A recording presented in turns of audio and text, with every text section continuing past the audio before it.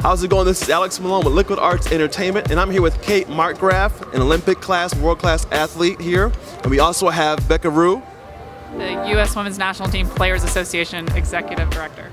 That's an earful. So, but they just got off a panel here talking about the gender uh, gap in pay uh, in, between women's and men as well.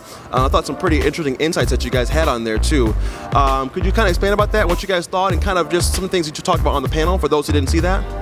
Sure. I mean, it's a huge topic and it's really difficult to put down in bullet points. But essentially, you know, we have to work together. And I think it's a common cliche thing, but I've lived firsthand where we worked together and we created a players association. And then we kind of got separated and we lost a little bit of energy and that players association went away. And since we're in that catch up space where we're not quite equal, we don't make the same revenue. We need to keep that energy going, support one another, not only as athletes on the same team, but just women in general supporting each other in whatever pursuits that we go for. Yeah, I think uh, what we talked about a lot was building off of also what people that were pioneers in the sport did and taking it forward the next step. There is a, a gap that we're trying to fill, and it's not going to happen all at once. It's going to be an iterative process that requires all of us to continue to work together, just as Kay was saying. So, for this event, too, what are you most excited about, or what have you seen that really excited you about today's event so far? First of all, anytime you get in the room with Julie Foudy and Sarah Spain and everyone else here, there's such positive vibes. You walk away energized and really happy that ESPNW is a platform where all these personalities can get highlighted and their message can get broadcast to a bigger audience. So I have a huge appreciation for today. I love too that there's they're streaming it live and that other people can engage that are not physically here, and the ESPNW is taking it to different cities. So I know this is the second time it's been here in Chicago, and it it shows that there's just a really energetic group of women that probably have all their own stories to tell, and hopefully those stories are being told around the tables during breaks.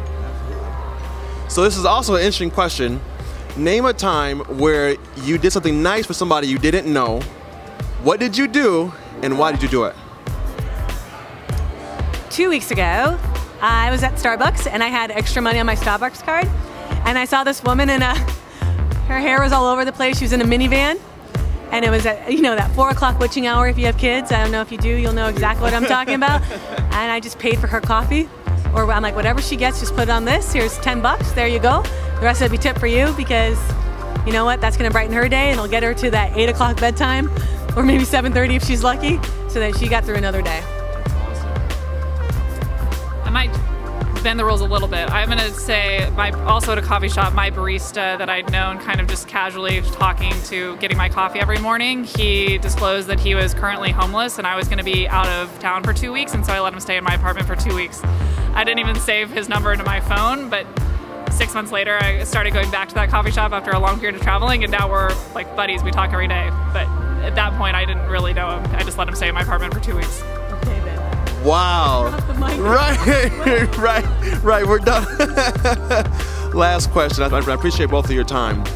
What are you most grateful for in your life? I know it's probably a big question, but out of everything that you experienced so far in your life, what are you most grateful for? I'm most grateful for the fact I had an opportunity to pursue something I loved. And not everyone gets those opportunities. So when you have it, you have a responsibility to try to create those for others, the same type of chances. Because if you don't have a chance, where can you go? And you live such a half life at that point. So I'm most thankful that I actually had a chance. I, echo the same thing. That my I come from a family that believed in just try anything you want, and I was given those opportunities, and I want constantly to let other people have the chance to do it too. So try to create those as well.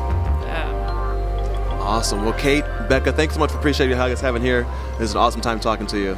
Thank you for having me. All right.